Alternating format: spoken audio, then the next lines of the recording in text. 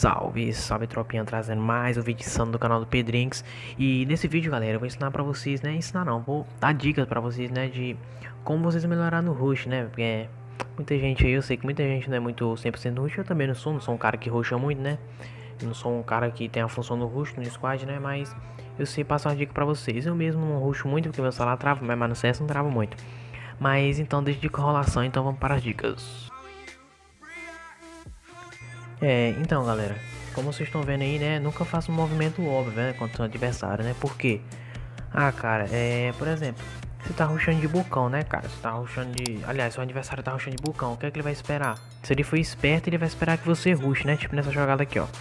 Essa jogada aqui o cara tava indo, pegando minhas costas lá, cara, ó. Peguei de um capão nele, ele tava pegando minhas costas por quê? Porque ele viu que eu ia pra direita, né, no caso, Isso, ele com certeza tinha um fone bom.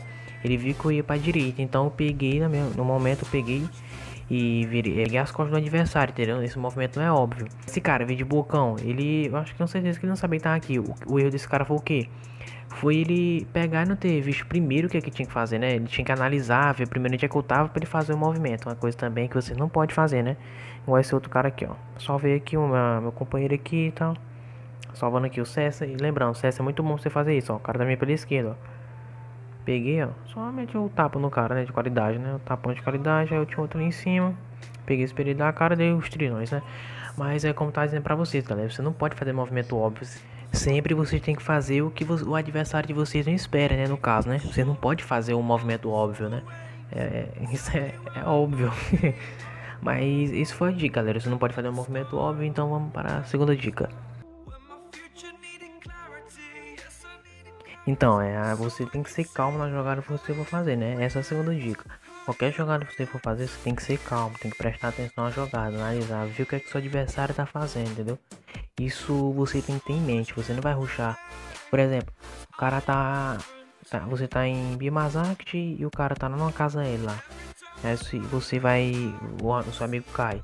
Ele não, parte, não passa informação de nada e você não sabe onde é que ele caiu. Aí você vai em direção, tá o seu amigo tentando salvar e você não sabe nenhuma informação dele. Você vai de pulcão, você vai sem é, sem saber de nada. Você vai inocente na, na jogada, entendeu? Você sempre tem que saber, igual esse aqui. Esse aqui me surpreendi, né? Como eu tava jogando aleatório, me surpreendi. Mas acabei surpreendendo ele também, que apareceu do nada. Peguei finalizei já ele. Isso aí é, já faz parte da primeira dica. Tem que surpreender o adversário. Ele não jogava muito bem, né? Mas eu não tenho culpa. Mas essa foi a segunda dica que eu passei pra você, né? Você tem que saber o que o adversário tá fazendo. É, então vamos para. Não, vamos para a terceira de logo. Eu vi logo essa jogada aqui, ó. Que essa faz muito parte da, da primeira jogada, né? Porque presta atenção. Eu surpreendi o adversário, ó. Presta atenção, essa jogada aqui, ó. Peguei, vou subir na casa aqui agora. Tô narrando por cima, claro, por isso que eu tentei salvar. Tentei salvar, só como, ó, como eu já disse pra vocês, a segunda dica, eu não sabia onde é que o cara tá. Por isso que é, muitas das vezes não dá certo, entendeu? Muitas das vezes não dá certo você, você ruxar, você fazer qualquer movimento sem sem ter informação nenhuma. Então, esse aqui eu vou pegar vou levar o squad, né? Squad não, acho que é, só falta um, não sei. Não falta não, falta dois. Aí peguei, tava vendo o passo, né? Também você tem que ter fone, né, galera? Todo root você tem que ter fone, porque ajuda a posicionar muito bem, galera. Quanto um fone melhor, quanto melhor for o fone, melhor, né, pra você, ó. Tem um capo no cara, um tiro no peito, como sempre.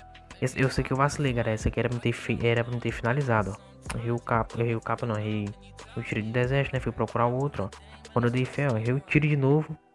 E acabei nem, nem errei o tiro, sei lá, bugou na hora, né? E, olha, o cara foi lá salvou, ó.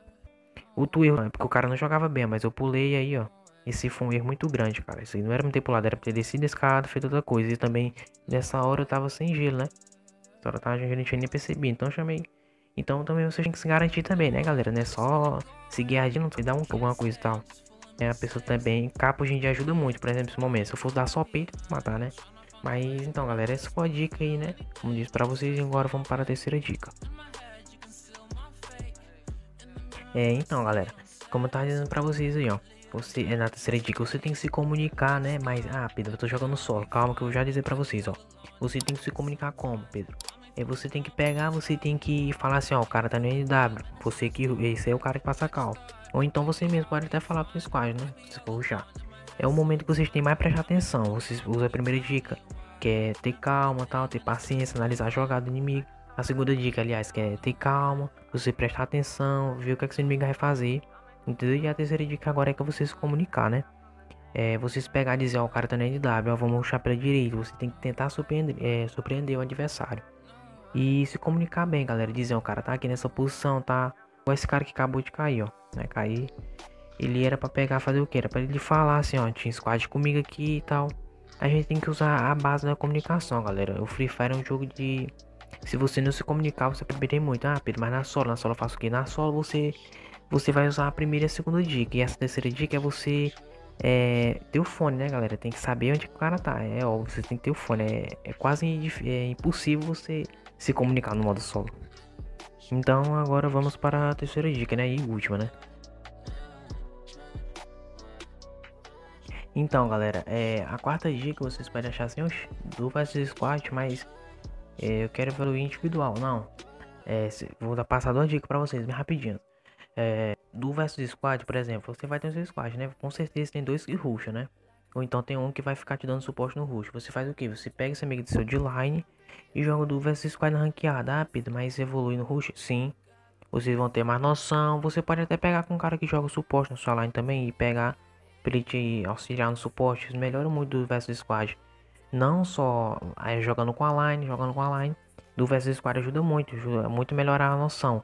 E para quem quer evoluir individualmente, você pega o solo versus duo. Ah, Pedro, mas eu tô quase mestre, eu tô querendo pegar uns pontinhos na ranqueada, né? Solo versus duo, com certeza eu vou perder ponto e tal. É, você pega e joga na clássica mesmo, joga na clássica mesmo, não tem nada. Cai em clock e mete o shadow mesmo, entendeu? Só que não vai igual louco também na. Vai com consciência, vai usando essas, essas três dicas, três últimas dicas que eu é, passei pra vocês e vão colocando em prática. É, mas galera, esse foi o vídeo, né? Se vocês gostou, deixa o like, né? Se você não gostou, comentem abaixo porque você não gostou. E deixem ideia de vídeo, né? Vocês vão ver até um em meu aí, ó. Se for um erro drasticamente drástico. mas se você gostou do vídeo, né? Como disse pra vocês, deixa o like, se inscreva no canal. Tamo junto, é nóis. E até a próxima. Valeu e fui.